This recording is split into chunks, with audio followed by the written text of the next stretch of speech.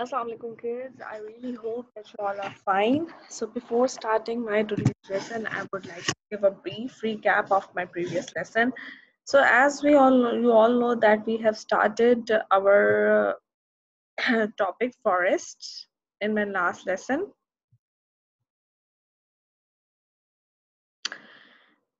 Okay, so let me do it first. Yeah and we have discussed that uh, there were a lot of forests. When this earth was came into being. And uh, many years ago many parts of the earth were covered by the thick forest and they were the industrialization was not like that as it is today.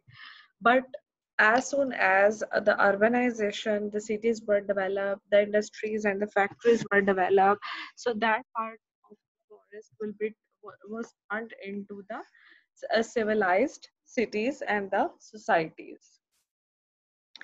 Then uh, we had a look on the map that basically there are two kinds of the forest. Number one equatorial forest that is uh, shown by the light green color on the map of the world equatorial forests are those forests that is that are found near the equator. As you can see that these green color forests are found near the equator. Some are, are north to the equator and some are south to the equator. While the other type of the forest are the temperate forest. Temperate forest in the map of the world is uh, shown by the dark green color. And we have discussed the equatorial forest in our last lesson Equatorial forests are usually the tropical rainforest and these are found in the Colombia and Brazil, uh, Ivory Coast, Ghana, Togo, Benin, etc. And these forests are very hot wetlands. The temperature in the equatorial forests are usually very high. So uh, even there is amount of the rainfall too. Uh, the equatorial forest, the average rainfall that is recorded is uh, uh, almost 200 to 250 centimeter. And we have discussed that Amazon rainforest in the Brazil is still the world's largest rainforest. Why it is called um, still saying rainforest, rainforest? Because the amount of the rainfall that is usually witnessing in these parts of the forest is usually very, very large and uh, these forests are very thick that we have discussed that whenever the tree dies or the cut down it is such a thick that it, it will not lay down to the earth directly but it will be stumbling onto the other trees for many days and then we have discussed some of the uh, forest species including the uh, monkeys and the snake and many birds now today we will discuss about the temperate forest. As you can see in the picture, obviously we are getting some, some kind of the idea regarding the temperate forest. Temperate forest basically a very cold climate of kind of uh, forest and the coniferous trees and the alpine trees are usually found here temperate forests are very different from the equatorial forests. They are found in North America, country of USA and Canada. Obviously, these regions are very cold in a large part of Europe and in North and Northeast Asia. These areas are quite cold and the forest here are either conifers and alpine. As you can find the main difference between the equatorial forest and the temperate forest is basically the climate of these two kinds of the forest are very very opposite. The climate of the uh, equatorial forest is very hot on the other side the climate of the temperate forest is very cold the rainfall of the uh, equatorial uh, forest was very high and the amount was even 200 to 250 centimeter. In coniferous forest, most of the trees are conifers.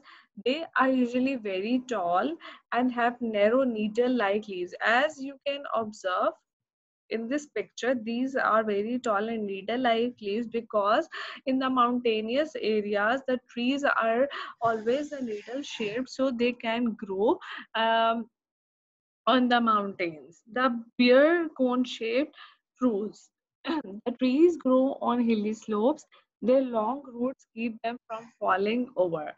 They also help keep the soil from being washed away. The shape of the leaves keep them from losing the moisture and uh, obviously the long, long roots uh, long roots enable them to absorb amount of the water from the soil and it prevents the soil erosion. एक term होती है soil erosion. What is the soil erosion? Soil erosion is basically the losing of the soil कि आपकी जरखेजी maintain रहे। आपकी जो soil है वो उस जगह पर है। अगर सॉइल नहीं होगी किसी जगह पे तो ऑब्वियसली वहाँ पर वेजिटेशन और प्लांट्स का उगना बिल्कुल एक नामुमकिन सी बात है। So basically prevention of soil erosion is one of the reason for maintaining the health of the trees Some of the trees found in these forests are fir, pine, spruce, cypress, juniper, yew, redwood, cedar, and larch. Um, most of the time I observe these kind of the trees are usually grown on the mountainous area or the hilly areas you can say. So this is the same case in this for these forests too. On the higher slopes, there are alpine forests. These trees in the alpine forest do not grow very tall because of the cold climate.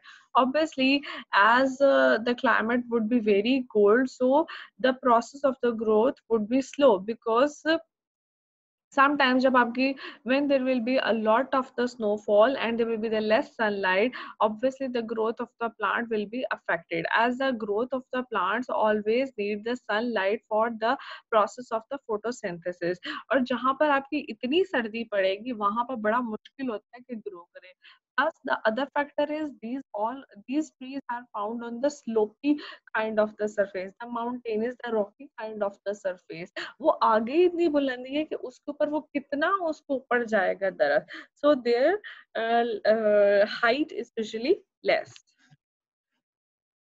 And the vegetation is not very rich. Unlike the trees in the equatorial forest, the trees here do not grow so close together. It is easier to cut down and fell these trees. Okay we have read in the equatorial forest that the uh, trees of these forests are very thick that they are very close to each other that when you cut those trees they do not directly fall to the ground even they fall on each other. They are very thick. Uh, but mm, on the other hand if we uh, study about the temperate forests so these forests are not very thick and the trees are not really close to each other so it is very easy to find uh, to cut them and get them during winter it gets so cold in these areas that there is thick snow on the ground and some of the rivers and lake freezes over यहाँ पे इतनी सर्दी हो जाती है the snow and the ice make communication difficult people have to use skis and large move about. Tractors and heavy snow plows are used to help transport machinery and goods.